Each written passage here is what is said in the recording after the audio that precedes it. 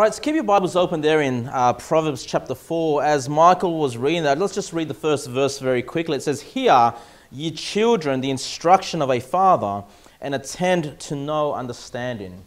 So, what's being taught here is that children ought to listen to their fathers. And, you know, if we keep going on, we'll soon see the mother is spoken of as well.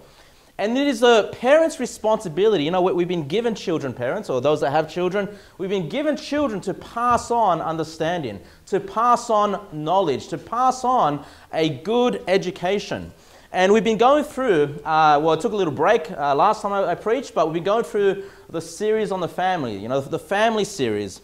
And I'm somebody with my wife, we, with our 10 children, we homeschool our children.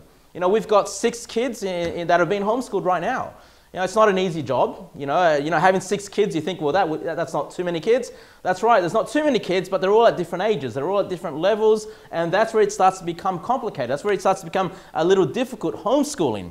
Now, I, I want to preach on homeschooling, and the title for the sermon tonight is Homeschooling is Biblical. Homeschooling is Biblical. Now, what I want to start off by saying is a couple of things. You know, when you preach a, a, sermon like this, especially to parents, it's easy to get offended sometimes because, you know, uh, not everybody in this church homeschools their kids. Now, some of you do, some of you don't homeschool your kids. Now, by the end of this sermon, if you, if you decide, well, you know what, homeschooling is just not for us, it's not something that I, I truly believe in, you know, I'm happy for my children to be in the, in the regular school system, well, that's your decision. That's your call. You know, you as a parent have been uh, given the privilege, the honor, the responsibility to teach your kids the way you have. But I want to talk about homeschooling a little bit because, you know, most churches will not preach about homeschooling. Now, a lot of, lot of Christians, a lot of Christian people actually do homeschool their kids, but they don't really have a good biblical reason why they do it. They know there's a lot of benefits to it, but they don't really know what the Bible says about this topic. So I, I want to basically give you a biblical foundation as to why I believe homeschooling is the most biblical method for you to educate your children. Now, before, you say there in Proverbs chapter 4, uh, I'll just read to you from Deuteronomy chapter 11, Deuteronomy chapter 11, verse 19. I'll just read it to you quickly. It says, And ye, speaking to the parents, and ye shall teach them your children. Speaking of them, speaking of the words of God, speaking of them, when thou sittest in thine house, and when thou walkest by the way, when thou liest down, and when thou risest up. The Bible is very clear that parents are instructed to be the teachers of their children. And of course, when, when God's speaking about here, He's not speaking about the math curriculum here, right? He's not necessarily speaking about the science curriculum, the history curriculum, you know, the geography curriculum. No, when, he talks about, you know, uh, speaking to them when you sit in your house, when you walk, when you lie down, when you go to sleep, when you rise up, what, what the Bible's telling us that, that um, God has given us all areas of life, all times of life to educate our kids. It's not just this curriculum, it's not just a subject. You know, we ought to be teaching our children the Word of God. We ought to be teaching our children the ways of the Lord, how to walk in His ways. We need to be teaching our children to be street smart so they wouldn't be deceived, they wouldn't be taken advantage of in this world. We should be teaching our kids how to change tires you know, how to change the car oil or something, you know, just the little things that we can do. You know, teaching our children about finances, about money, you know, the value of money, getting them to work, getting them to do chores, maybe, maybe giving them a little pocket money so they learn, you know, what it means to, to have money, teaching them how to give a little bit of that to the church, to the local church. You know, teaching our kids in all areas of life how to be good people, how to have good character, how to, how to, how to say please, how to say thank you, how to respect, you know, the authorities that they have in their life. You know, teaching kids is not just a subject. But when it comes to schools, at least when I was in school, it was all about the subjects. It was have you passed the exam? Have you passed the test? But you know what? I mean, come on, adults, you know this is too, too true. Uh, how much of schooling do you think really plays an active role with your daily life today? How much of all the things that you learned about history and geography, unless you're maybe a travel agent or something, but you know, not much, right? There's not much. Now, I'm not saying it's worthless. It, I'm not saying it's worthless whatsoever. I do believe those subjects are important. It exercises the mind. You know, the brain is a muscle. And you need to keep, you know, if you're working out, if you want to try to get, you know, some big biceps, you've got to keep working that muscle. If you stop working out, it's, it flops, right? It just turns into fat. Hey, the brain's the same thing. You've got to keep exercising the mind. You know, after you retire, you need to keep learning. You need to keep exercising that mind or you start to deteriorate mentally. You know, children need to have their minds exercised as they grow and they mature. The Bible makes it very clear, though, it is the responsibility given to the parents. Now, let me keep reading a few other passages to you before we look at Proverbs chapter 4.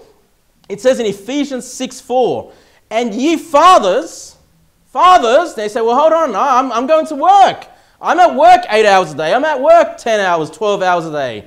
The Bible says, and ye fathers, provoke not your children to wrath but bring them up in the nurture and admonition of the Lord. You see, it doesn't matter how many hours you work, God has told the fathers you're accountable for your kids. You need to raise them up in the nurture, you need to nurture them and admonish them, that's correct them in the Lord. Ephesians 5:23 says, "For the husband is the head of the wife, even as Christ is the head of the church, and he is the savior of the body. You see, many times when, when parents are homeschooling, usually, you know, the father's out at work, mother's at home teaching the kids. And it's easy for the father to say, well, you know, I'll leave that to the wife, I'll leave that to the mother. Well, the Bible says, you know, husband, you are the head of the wife. You need to be involved in what's going on with your children's education. You need to be involved with how your children are growing up and, and learning things. And I know it's very uh, easy to leave that in the hands of the mother, but God makes it very clear that fathers, you are the head of your house. You, you ought to be the principal, as it were, of, of, that, of the teaching that your children are being received. I'm going to read to you from Joel chapter 1, verse 2. It says, Hear this, ye old men. Old men. What's the old man being instructed to do? And give ear, all ye inhabitants of the land. Have this been in your days, or even in the days of your fathers? Tell ye your children of it and let your children tell their children and their children another generation. You see, it's not just a father's responsibility to teach their kids. Grandparents, old men, you're instructed to pass it down to the children's children and so on, generation after generation. And if you look at Proverbs chapter 4, there once again, Proverbs chapter 4, verse 1, Proverbs chapter 4, verse 1, it says, Hear ye, children, the instruction of a father. Who's passing instruction? The father and attend to know understanding. For I give you good doctrine. Now we think about doctrine as a, a, a, a, a church, churchy word, right? A religious word. Doctrine just means teaching. Okay? It says, look, I give you good teaching. Who do you think is going to give your children the best teaching? The good teaching. You think it's some teacher in the, in the school who doesn't care a thing about your kids? Or it's going to be mums and dads who love the, the children, who's been there from the beginning? Good doctrine. Forsake ye not my law. Look at verse number three. For I was my father's son, tender and only beloved in the sight of my mother. He taught me also. He says, Look, I'm teaching you, child, but guess what? My father taught me also, right? He taught me also and said unto me, Let thine heart retain my words, keep my commandments and live. Keep my commandments and live. So, as we're going through these passages, it's about teaching your children. Okay? And I know we've been brainwashed into thinking, well, those subjects are for school, churchy stuff that's for the pastor to teach my kids, and I'll teach my kids anything else.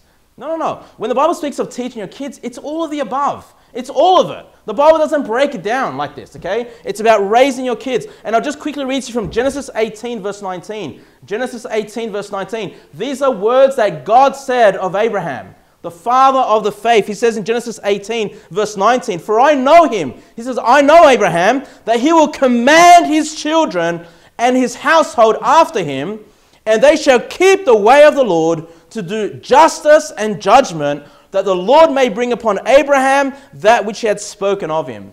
You know why God selected Abraham to give the promises of, the, of Jesus Christ? He says, I know Abraham. I know him very well. And he's going to command his children, his whole household, his servants to walk in my ways, to command his family. And so, who is accountable for the family? Who is accountable for the learning of the children? You know who's accounting, accountable? Dads, the fathers. You're the head of your house. Accountable. Now, listen, there is a difference between accountability and responsibility. Okay? Now, when I was managing a large team, I was accountable for whatever happened. If things went well, I'd take credit for it. If things went bad, I had to own, own it, right? I'm accountable for what's happening. But does that mean I'm responsible for every little job that's being done in the business? No. That's when you delegate the responsibilities. You have other people doing the job, but even though others are responsible for completing the job, I'm still accountable as the manager, as the head, to make sure the job's being done, right? And if it's not being done, it's on me. It's on me. And so, when it comes to accountability and responsibility, one thing we need to understand if you're a homeschooling uh, family is that fathers, you need to leave the responsibility, because usually mums are at home. Usually mums are the ones raising the children. You need to give the responsibility, the trust, the assurance, the confidence to your wife, to the mothers to raise their children. But you're still accountable. You're still accountable. If the kids are not learning, you've got to step in. If your wife needs support, she needs whatever she needs from you to be able to accomplish that task, Fathers, you need to be there to be that rock, to be that uh, anchor for your wife to be able to accomplish the homeschooling. Because again, homeschooling is not always easy. It looks nice, it looks rosy on the outside, but let me tell you, there's several tears during the week, all the time. There's always some difficulty. I mean, a new baby's born, all of a sudden your routine's out of, out of whack, right? The kids learned something last week and then they can't remember what he was the next week. I mean, it just, you know, there's always these frustrations that go on, okay? I'm not saying we're a perfect family. There's tears in my family, right? There's, there's, there's frustration sometimes. But here's the thing that I know I know that my kids are getting a better education, even if it's only two solid hours, two good solid hours at home, than the six hours they would have got in school. No doubt. Guaranteed, they're getting a better education.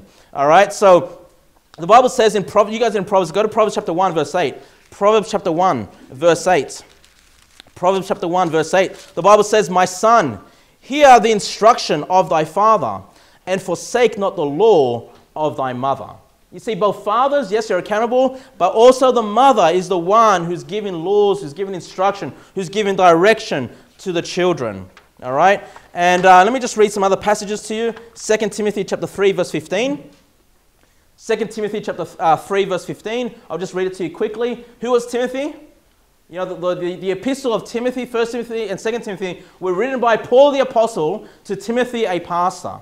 And, and Timothy was a young man, all right? But the Bible says, or Paul says about Timothy in 2 Timothy 3.15, and that from a child thou hast known the holy scriptures, which are able to make thee wise unto salvation through faith which is in Christ Jesus. You see, Paul the Apostle looked at Timothy and says, Man, you're well educated. You've been educated since a child. But not, you know, here specifically, you've been educated in the scriptures. You've been educated in the faith. But when we look at 2 Timothy chapter 1, verse 5, Paul uh, knows why, why that is. He says, When I call to remembrance the unfeigned faith that is in thee, which dwelt first in thy grandmother Lois and thy mother Eunice, and I am persuaded in thee also. He says, Timothy, I know why you're educated. I know why you're so, why you know so much about the scriptures. I know why you're strong in the faith. Because of your grandmother and because of your mother. That education was passed on generation after generation. So it's not just the fathers, but the mothers need to get involved in the education of their children. And of course, Proverbs 31, verse 1, the Bible says, The words of King Lemuel, the prophecy that his mother taught him. What an amazing thing that in Proverbs 31 we have the prophecy that was from a mother to King Lemuel. I believe that's King Solomon that's been referred to there. Okay? So my point there was basically mums and dads, you're both responsible for the teaching, the rearing of your children, but dads, you're accountable and then you give that responsibility to your wife. You give the responsibility to their mothers. So I'm, I'm all for homeschooling, okay?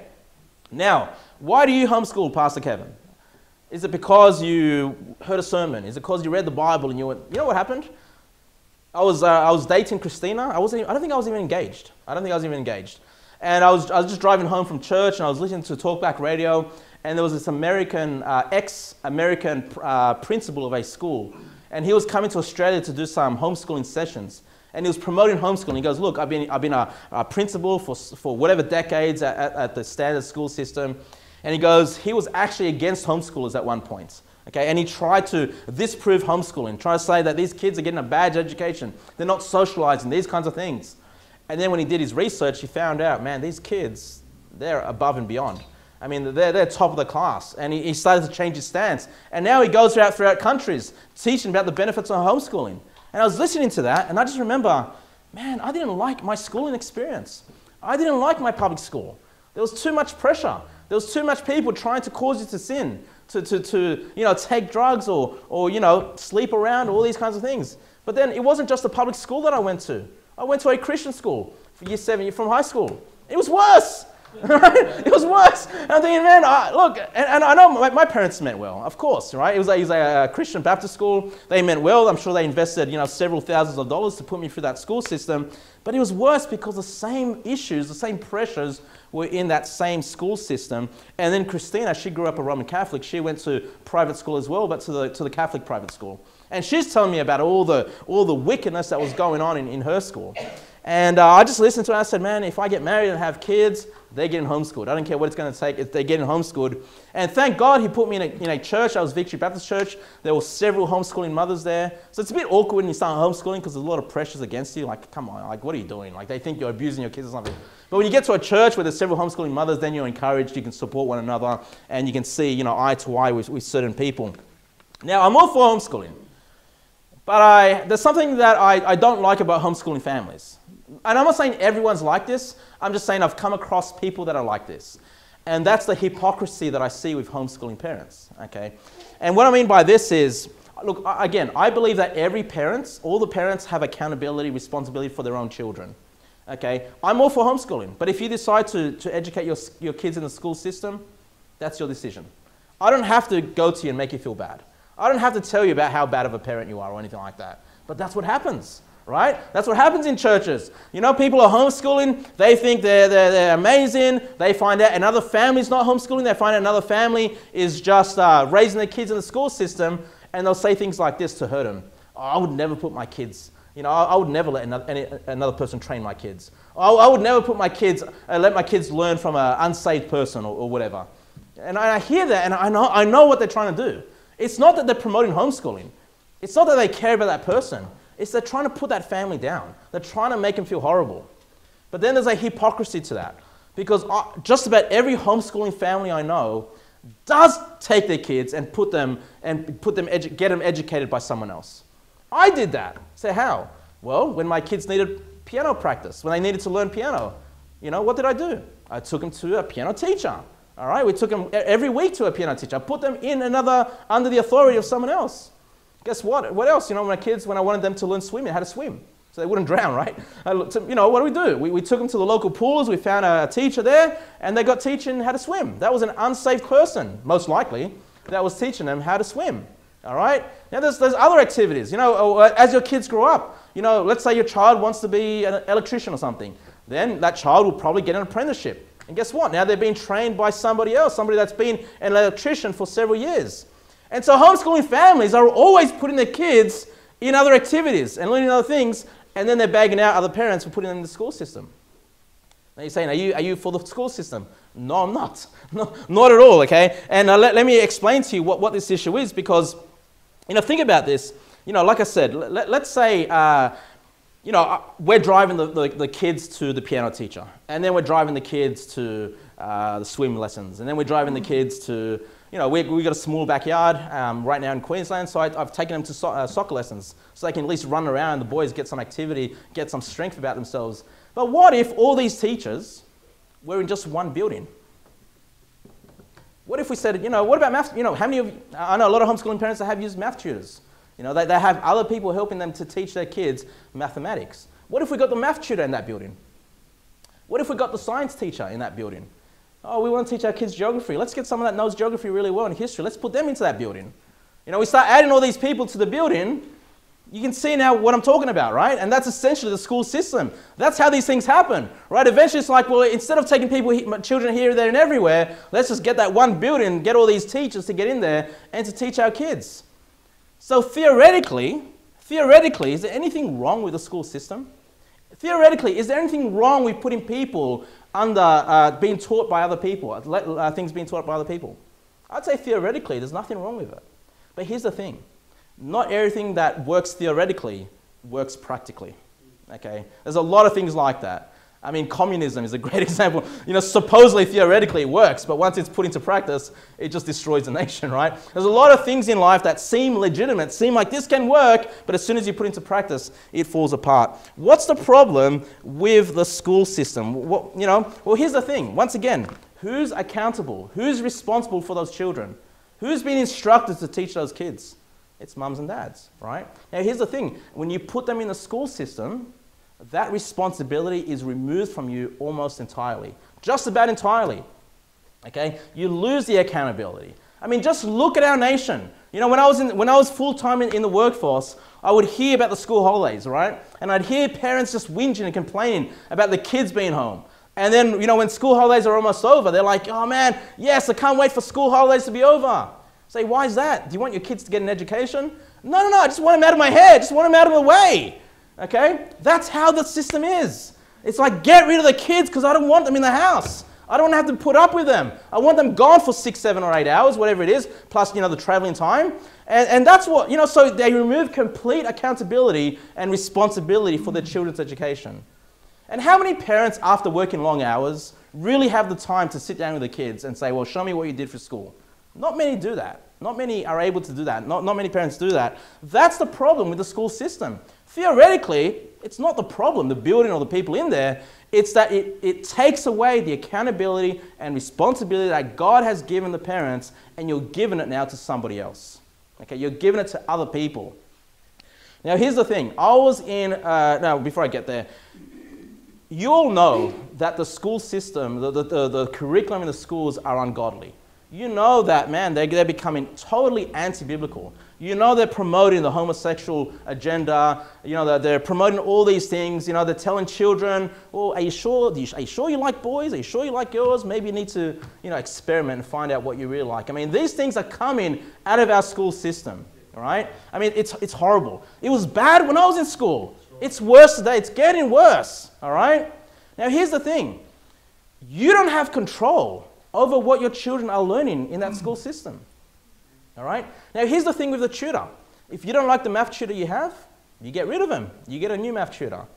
You know, when you're homeschooling, you've got a textbook, you don't like a few of those chapters, you go, well, that's a waste of time, or that's about, that's about pagan gods. I don't want my kids to learn about that. What do you do? You rip out the page, you rip out the chapter, you go, well, you know, we're not going to cover that, we'll move on. That's the advantage of homeschooling is that even though you might have some of the same material, you as a parent have the decision, you, you are able to make those decisions as to what you're teaching your kids because God has given you that instruction, has given you that authority to do it.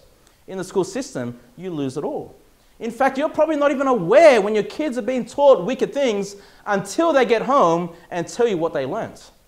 Okay? Until they, and, and man, they're learning some really weird things these days. Okay? But here's the thing you, as a parent in the school system, will feel like, well, I'm going to complain about that. I'm going to go to the teacher and tell them, hey, you shouldn't be teaching the kids this thing. What's the school teacher going to say? That's not really my decision. It's, it's been decided by the school board. This is what the school board decided to teach. I have to teach it. It's my job to teach it. Then what do you do? You take it to the school board. Say, school board, listen, this is a problem. Why are you teaching the kids this stuff? Well, it's not our decision. This has been passed down from the Department of Education. This has been passed down from the government. In order for us to be recognized as a school, in order for us to get the, the financial grants that come from the government, we need to teach these things. And then you go, well, what's the next level to complain to? The government. Listen, once you complain to the government, it's a faceless, it's a faceless organization. You don't know who you're dealing with anymore. And your voice is a drop in the ocean. I mean, how many millions of kids are in the school system? And then you think your voice is going to cause them to revamp the, the education? You think your voice is going to bring, it, bring back the Bible into the schools? You think your voice is going to start teaching kids how to, you know, or, or bring in, bring in you know, uh, religious teachers and, and teach them the Bible, teach them the gospel? It's not going to happen. This is the problem with the school system. This is why homeschooling is biblical. Because as parents, you still have accountability of what your children are learning. Okay, you have full control of what your children are being taught. Now, this is the fundamental issue why I homeschool my kids. These are the fundamental reasons why you as a Christian should, if you're not homeschooling your kids, that you should seriously consider it, okay? Because, listen, those schools are taking your kids for a good six hours every day. Every day for how many years? 13 years, right? Kindergarten to year 12. Think about that. 13 years, every day, six hours, pumping them, not just with education. I don't have a problem with the academics but with the philosophies of this world, the wickedness of this world. They're, trying, they're training them to be anti God. They're training them to hate God. They're training them to, to believe in evolution and all these, this nonsense that is against the Bible. look, your kids are small, they're young, they're not mature. How much do you, how much do you think they're able to you know, resist? At some point, they're going to give in. Okay, at some point, and this is what happens. You see godly children, you see children in school, uh, you know, of Christians, and then they're out of church. They're, they're just worldly. They're just like anybody else. And I'm not even covering. I'm not even talking about the peer pressures. You know, I'm just talking about the, the system. What the school system is teaching our children is ungodly. Let alone, like I said, the, the peer pressures, the drugs, the fornication, the abuse or the bullying that goes on in schools, the fads to keep, you know, looking cool. You know, when I was in, in, in primary school, the fad was the Reebok pumps. Anyone remember the Reebok pumps? Yeah, all right. Did you have a pair, brother? Oh yeah, yeah. So you went cool. You went, yeah. if you wanted to be cool in school, you had to have the Reebok pumps. You remember the pumps, and then they. Anyway, you go.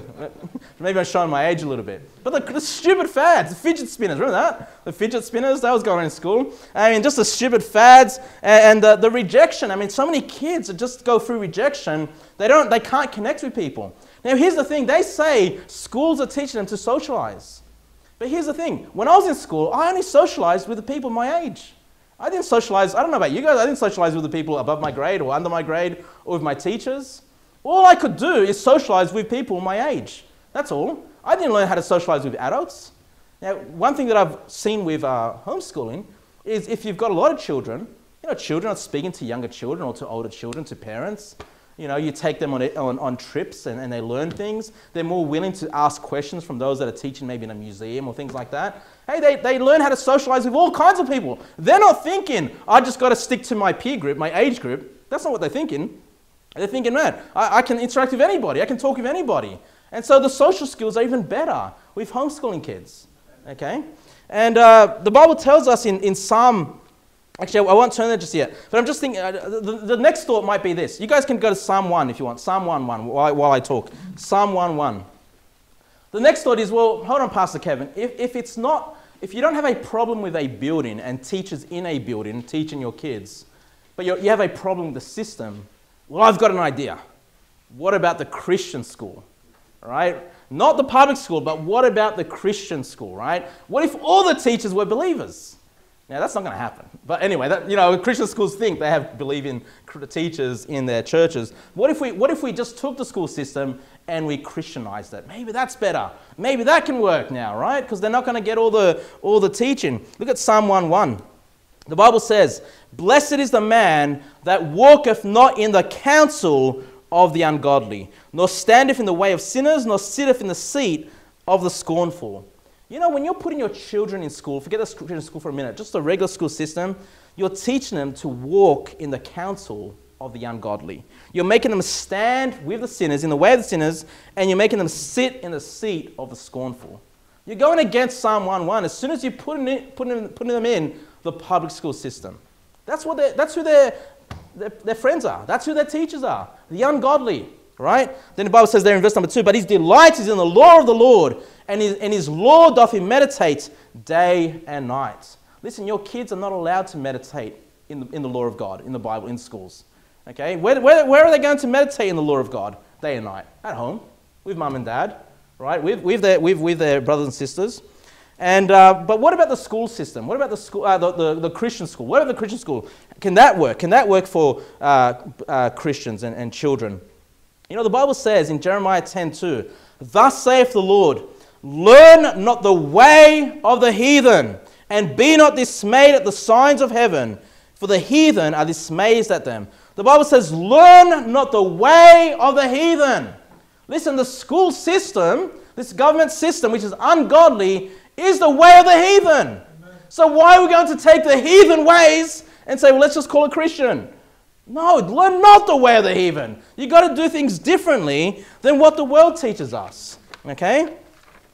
the, the, the, the, Christian school, why would I not put my children in a Christian school? Number one, you're still doing it the heathen way. Okay? You're still doing it the heathen way. Number two, in order for Christian schools to get their, they get government kickbacks as well, the private schools. In order for them to get their government kickbacks, they've got to teach things that are ungodly. They've got to teach things that are wicked.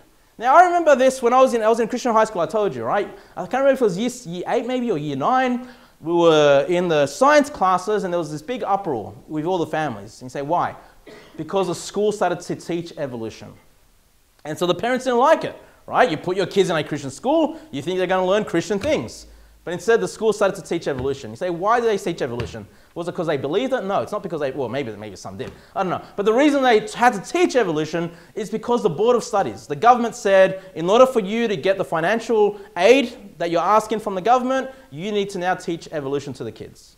So we would go to school, science class, and learn about evolution. What a waste of time. What a waste of time. You know, why? Just for the money? Just for money from the government? Listen, I would have been just better. You should have just said, kids, go home, right? kids, go home and let us teach the air, right? If that's what we need to do. Just teach the air. Kids, you go home, you do something else. You go and play, you go and learn uh, other things. That's what should have happened. But look, that's what's going on in Christian schools. They're still getting the government kickbacks. In order for them to do that, they have to teach even ungodly things. Now, look, they taught evolution, the teachers taught it, but then they said, well, but we don't really believe this. Okay, but still, I mean, look, you're, you're, you're teaching people nonsense. You're teaching children nonsense. Again, young children, okay? They're not the best at discerning right and wrong, okay? They can easily still be fooled by this teaching that is ungodly. Number three, you still, even in a Christian school, you still lose accountability for your children's education. You're still giving it to somebody else for them to basically take over your child's education. And number four, the reason I'm against Christian schools is because all the peer pressure, the drugs, the fornication, all those things that I mentioned, it's still there. But it's worse. It's worse. And you say, why is it worse? It's because when I was in the public school, I expected wickedness. I expected my friends who are ungodly and unsaved and the people around it, I expected them to be fornicating. I expected them to hate God. I expected them to be worldly. I expected them to take drugs and drink alcohol. I expected all those things. But when I was put into the Christian school, you know what I was expecting? I was expecting, man, I'm going to be amongst believers. I'm going to be amongst brethren. I'm going to be amongst people that love the Lord. I'm going to be amongst people that are trying to serve the Lord.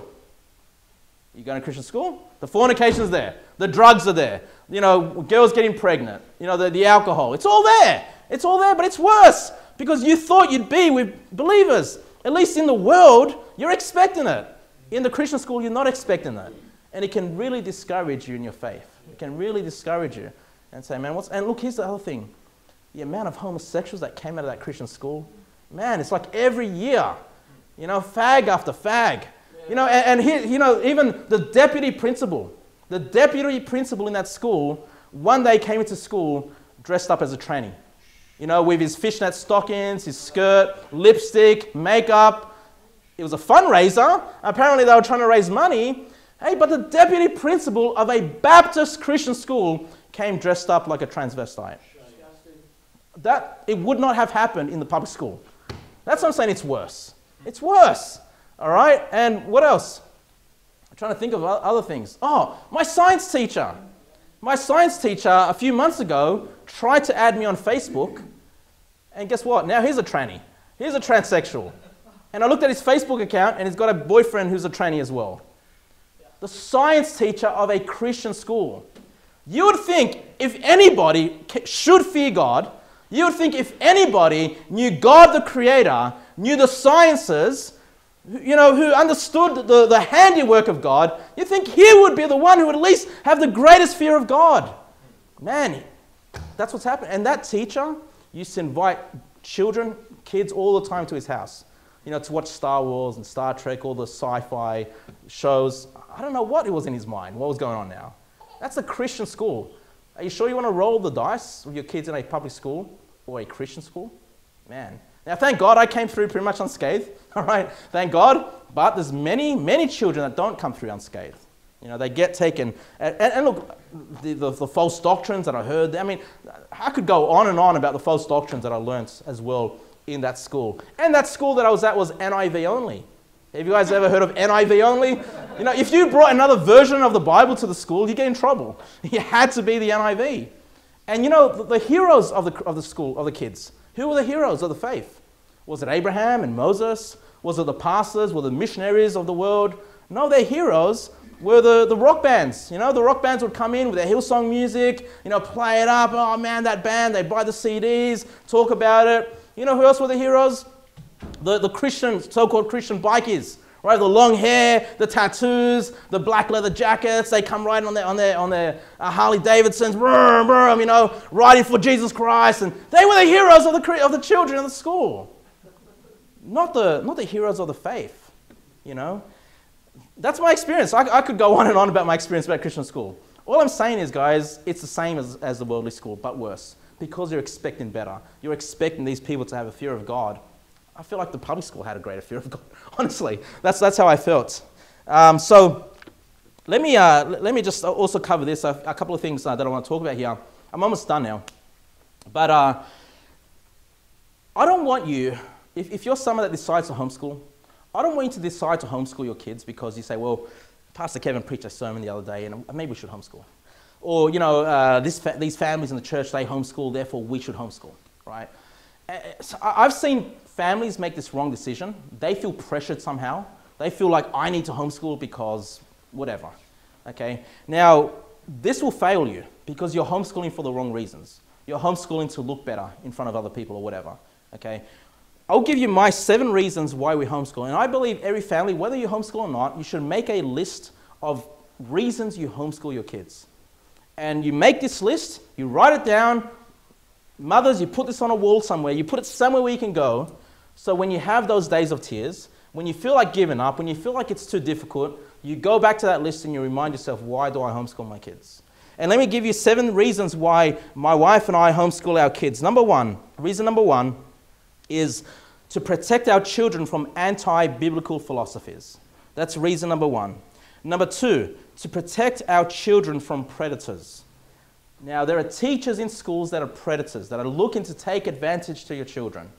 You say, no, no, no, all the teachers in my school are good. Well, there are predators watching your kids as they walk to school back and forth from home. Okay, that happens. How many times do we hear stories where there are predators just watching children go to and from the school system? Protection from predators was number two. Number three, to provide a biblical foundation to my children's education. A biblical foundation. Even if it's just mathematics, even if it's just teaching our kids 5 plus 5 equals 10, it cannot be 11. Say, why is that? It's because God has put laws in this universe. God does things orderly and decently. You know, we serve an orderly God. We serve a God that has an absolute truth. You know, there's that truth of, of 10. It will never be something else. We have God's word, which is truth. It's nothing else. You know, that's number, number three. Number four, to build a stronger family, to have greater relationships between the siblings and the parents. If I'm just shipping my kids off for hours every day, I'm going to lose opportunities to, to build relationships with those children and even the siblings amongst themselves. Number five, for more time for personal interests or further study. You know, homeschoolers will finish school very quickly, two, three hours maybe, when the other kids are at, at school for six hours. Why? Because they're not wasting time. They're not traveling to and back from school. They don't have these empty times between lessons, right? Uh, where, where the kids, I mean, how many times? I mucked up in school. I interrupted the teachers. I'm sure all of you guys, oh, i no, kids, no, you know, I was really good at, no, you mucked up, I know that. you sidetracked the teachers several times, didn't you, right? amen, amen. but look, the homeschooling kids, if they muck up, they get the rod, right? it gets settled in a few seconds and then you're back to school, all right? I mean, there's, there's more time. What I'm trying to say is there's more time, okay, for personal study. Sometimes my kids, they finish school, and they want to, they get excited. They want to do another chapter of math or something. Okay, well, fine. You can move forward if you want. You know, do, do more study. Or, you know, some of them, they love animals and they'll, they'll, they'll research animals and learn about animals. Well, whatever. You know, they might want to play. They might just want to kick the ball around in the backyard. Fine, go and play. You know, you've done your work. Now you've got free time to do whatever you like. Man, that's awesome. You have time to be a child. Even the school system knows homeschooling works. Why? Because after six hours of teaching your kids, they still send your kids with homework. They still send your kids for an hour or two hours of homework because they know it's not enough. They know what we did here in class is not enough. They need to go home and do some homeschooling. Why don't you just do the homeschooling from the beginning? Then, then they don't need to spend those six hours in school. Okay? Even the school system knows uh, homeschooling works. Um, number six, they have the comfort of learning at their own pace. At their own pace. Like I said, if they want to move along faster, they can go faster if they want. If they get stuck on something, they don't understand something, they don't have to have the fear of the class moving on and they're falling behind. Hey, they can just revisit that same chapter. There's no one pushing them. There's no pressure. You know, they can go through that chapter, listen to that video, whatever it is, you know, whatever it is, whatever uh, resources you're using, and they can move, they can get that settled before they move on. That's so important for subjects like mathematics. You know, uh, to, they can they have comfort of learning at their own pace. And number seven, the seventh reason why you're home- homeschooling, and this is my favorite reason, is that life doesn't revolve around school holidays. Life doesn't revolve around school holidays. You know, a lot of, a lot of parents that put their kids in school in the school system will take their holidays, will take the leave, will look okay, when are the kids having school holidays, and they'll work their life around the school holidays. Normally on school holidays, if you're going on a holiday, it's really expensive. The accommodation prices go up, you know, everything goes up. Petrol goes up, everything, you know, it's all more expensive. Here's the good thing. You go on holidays when it's, when, it's, when it's not school holidays, everything's cheaper. You get really good discounts. You know, we went to Chile for three months in 2017. I wouldn't have been able to do that if I was putting my kids in school for three months. Our kids were like, you know, we did a lot of schoolwork before going to Chile. All right, now you got three months. We just had a, little bit of work to keep refreshing their minds, only a few minutes every day. Back, then we got back home, back to school. You know, get, get back into it, right? You can work around, you know, not the school holidays, but you can work around what your life needs, you know, what your family needs. So, what are those seven things? Let me just repeat them very quickly. The reasons I homeschool my kids and I think these are good things for you guys to think about and maybe add to your list. Number one was protection from anti biblical philosophies. Number two was protection from predators. Number three, to provide a biblical foundation of their education. Number four, to build a stronger family. Number five, more time for personal interest or further study. Number six, comfort of learning at your own pace. Number seven, life doesn't revolve around school holidays. I really encourage you to make a list like this, homeschooling mothers, because you're going to be tempted sometimes to be like, you know what, this is too hard, I'm going to send my kids to school. But if you've got this list and you look back, oh yeah, that's why I homeschool my kids. That's why I don't want them in that school system. And I think, you know, I, have shown you how, you know, if you just took the Bible at face value, you wouldn't conclude that what you should do with your kids is put them in some system, some other institution. You know, God did not create the institution of school. He created the institution of government, He created the institution of, of the business, the institution of the church, He created the institution of the family. Did God create the institution of school? No. Bible college? No. None of those things, right? The, the, the, things that God has created is sufficient for us to live by and to train our children. I hope you'd, you'd think about this. If you do have any questions about homeschooling, um, uh, please let me know. Let's pray.